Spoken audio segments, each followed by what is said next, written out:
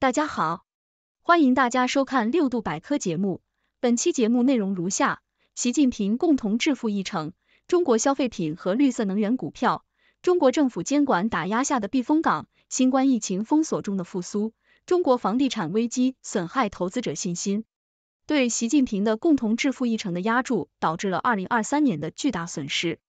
Bloomberg，二零二三年。那些在两年前相信中国消费品和绿色能源股票将从习近平总书记的经济新政中获得巨大收益的投资者，现在看到他们的持股价值已经大幅下跌。中国美东汽车控股有限公司、体育用品制造商李宁公司和能源储存系统制造商普林科技有限公司的股价在二零二三年下跌了至少百分之六十八，成为 MSCI 亚太指数中表现最差的股票之一。这些股票被认为是中国政府监管打压下的避风港，因为它们符合习近平的政策重点，包括缩小贫富差距的共同富裕行动，以及可再生能源行业的发展。然而，由于中国从新冠疫情封锁中的复苏受挫，以及深化的房地产危机损害了投资者信心，这些股票反而遭受了不成比例的损失。投资者应该放弃狭隘的主题，而是关注每个基础业务的质量和内在价值。这将是对未来回报更可靠的预测指标。伦敦 Artemis 投资管理公司的首席投资官帕拉斯·阿南德表示，该公司管理着价值约二百九十亿美元的资产。仅仅围绕共同富裕这样的主题进行对齐，已经被证明有其自身的陷阱。定义人物与事件影响。习近平共同繁荣议程是中国领导人习近平提出的一项重要国策。旨在通过公平的机会、合理的收入分配和基本生活保障，实现全体人民的富裕。该议程强调社会公平正义，促进财富的合理流动和分配，以缩小贫富差距。在这一议程的推动下，中国的消费品和绿色能源行业原本被视为在政府监管加强的背景下的避风港。具体而言，消费品公司因为直接服务于民众的日常需求。而绿色能源企业则因响应国家可持续发展和环保政策获得支持。然而，自二零二一年以来，新冠疫情的反复及其导致的封锁措施对中国经济的复苏构成了阻碍。这些因素连同房地产市场的动荡，导致市场信心的下降，投资者对这些行业的乐观预期遭到了重挫。具体的影响体现在一些曾被认为会从共同繁荣议程中受益的公司。如美的集团、隆基股份等，其股价在二零二三年出现了显著下跌。这一现象表明，尽管政策倾向性明确，但宏观经济环境和市场波动仍然对企业的表现和股价有着深远影响。尽管如此，一些领域如半导体产业因政府的资金注入而逆势上扬。政策的支持和全球供应链重组推动了中国半导体行业的快速发展，吸引了投资者的关注。综上所述，习近平共同繁荣议程对中国经济和投资者信心产生了深远影响。虽然消费品和绿色能源行业在监管和政策的推动下原本被看好，但实际的市场表现受到了多重因素的影响。这提示投资者在进行资产配置时，需要综合考虑政策导向以外的市场风险。习近平共同致富议程对中国消费品行业有哪些潜在影响？习近平共同致富议程是中国国家主席习近平提出的一项旨在实现社会财富均衡分配和推动全民共同繁荣的经济发展策略。此议程的核心在于促进收入分配公平，提升中低收入群体的生活水平，从而拉动内需和消费市场的整体增长。在消费品行业，共同致富议程可能会带来以下潜在影响：一、消费升级。随着政策的实施，中低收入人群的购买力有望提升，这将促进消费品行业中高品质产品的需求增加，带动消费升级趋势。二、市场结构调整，议程可能会加速消费市场的结构调整，促使企业更加关注中低端市场，开发符合广大消费者需求的产品，从而实现产品多元化和市场细分。三、创新驱动，为了满足日益增长的消费需求。消费品企业可能会加大研发投入，推动产品创新和服务模式的革新，以提升竞争力。四、社会责任强化，共同致富议程强调企业的社会责任，消费品企业可能会在生产和经营中更加注重可持续发展，以社会责任为己任，提高品牌形象和消费者认可度。五、分配机制改革。随着收入分配机制的改革，消费品行业的工资水平和福利体系可能会得到改善，有助于提高员工满意度和企业的人力资源稳定性。六、农村市场潜力释放。共同致富议程对农村地区的关注，可能会释放农村消费市场的潜力，促使消费品企业加大对农村市场的开拓力度。七、政策支持与风险防范。政府可能会通过税收优惠、财政补贴等措施支持消费品行业的发展，同时也会加强市场监管，防范行业风险，确保健康有序的市场环境。综上所述，习近平共同致富议程对中国消费品行业的潜在影响是多方面的，不仅可能推动消费升级和市场结构调整，还可能促进企业创新和社会责任的强化，并通过政策支持和农村市场的开拓，为行业的长期发展提供动力。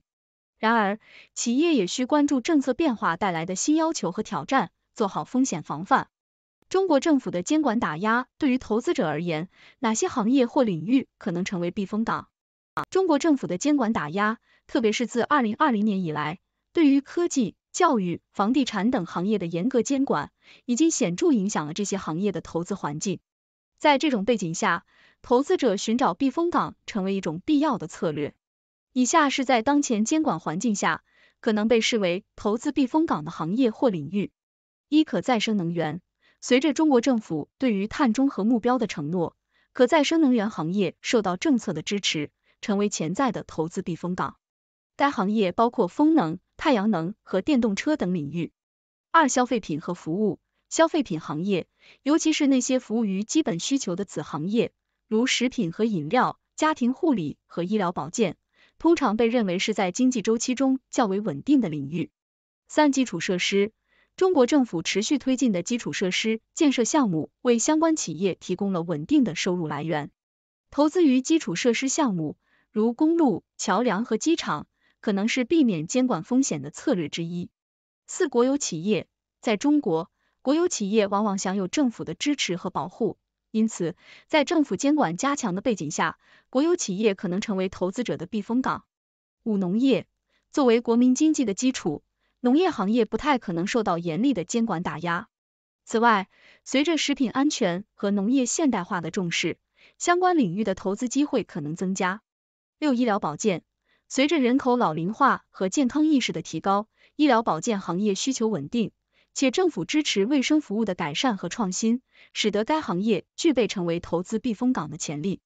七、高端制造，中国政府鼓励制造业升级和技术创新。高端制造业如半导体、航空航天和精密仪器制造等领域，可能因政府支持而相对免受监管打压的影响。总而言之，尽管中国政府的监管打压给投资者带来了挑战，但也存在一些行业或领域可能因为政策支持或基本需求的稳定而成为潜在的投资避风港。投资者在考虑投资决策时，应充分评估行业特点、政策导向和市场需求，以规避监管风险，实现资产的稳健增值。在中国房地产危机的背景下，投资者应如何调整投资策略以降低风险？在中国房地产市场自2020年以来遭遇持续调控和部分开发商债务危机的背景下，投资者面临着必须重新审视和调整投资策略以降低风险的挑战。以下是投资者在当前房地产市场环境下可以采取的几种策略：一、多元化投资，投资者应考虑将资金分配到不同的资产类别，包括股票、债券、黄金、外汇等，以减少对单一市场的依赖。特别是可以考虑增加对非房地产相关行业的投资，如科技、消费品、医疗保健等行业。二、质量为先。在选择房地产投资时，应关注那些具有良好财务状况、较低债务水平、强大现金流和稳定土地储备的房地产开发商，避免投资于那些负债累累、现金流紧张的企业。三、关注政策导向，密切关注政府的房地产调控政策和市场动向，如限购、限贷、限售等政策的变化，以及地方政府的土地出让政策，这些都可能对房地产市场产生重大影响。四、考虑 REITs，房地产投资信托基金 REITs 提供了一种投资房地产市场的替代方式，可以让投资者通过持有 REITs 来分散风险，同时享受来自房地产资产的租金收入和潜在的资本增值。五、长期视角，保持长期投资视角，避免短期的市场波动和投机行为。长期投资通常能够抵御短期市场波动带来的冲击。六、风险管理，建立严格的风险管理体系，包括设定止损点、定期审视投资组合和进行风险评估。在不确定性较高的市场环境下，及时调整投资策略至关重要。七、留意流动性，保持一定的流动性，以便在市场出现不利变化时，有足够的资金应对可能的资金需求或抓住投资机会。通过上述策略，投资者可以在中国房地产市场不稳定的环境中降低风险，同时寻找其他潜在的增值机会。然而，需要注意的是，投资决策应建立在充分的市场研究和个人财务状况分析之上，必要时应寻求专业的财务顾问意见。谢谢您收看六度百科，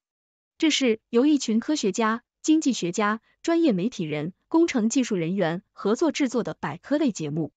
这些内容并不一定反映六度百科团队的立场，亦不能作为任何决策的建议。六度百科内容涉及诸多知识领域，我们努力使其内容真实、专业，不存在预设立场。如果受众发现内容有误，赞同或反对六度百科内容，请在我们的节目留言区发表您的高见。欢迎大家到六度世界六度 World 阅读我们的更多内容，参与六度聊天区的讨论。请订阅我们的频道。给我们的节目点赞，谢谢各位观众朋友们，大家好，我是来自六度世界的六博士。今天我们先来看一则关于中国经济的新闻。二零二三年的时候，那些相信中国共同致富议程能够带来巨大收益的投资者，现在看到他们的持股价值已经大幅下跌。这些股票在二零二三年下跌了至少百分之六十八，成为 MSCI 亚太指数中表现最差的股票之一。这一现象的背后原因是中国复苏受挫以及房地产危机的损害。这告诉我们，投资者不能只看重政策，还需要关注市场的风险。接下来，我们来看一下习近平的共同致富议程对中国消费品行业的潜在影响。这一议程旨在促进社会财富均衡分配，拉动内需和消费市场的整体增长。在这一议程的推动下，消费品行业可能会迎来消费升级、市场结构调整、创新驱动等潜在影响。同时，这一议程也强调企业的社会责任，可能会促使消费品企业更注重可持续发展和品牌形象。投资者应该在考虑投资这些行业时，充分评估行业特点、政策导向和市场需求，以实现资产的稳健增值。接下来，我们来看一下中国政府的监管打压对投资者的影响。在政府监管加强的背景下，一些行业或领域可能成为投资者的避风港，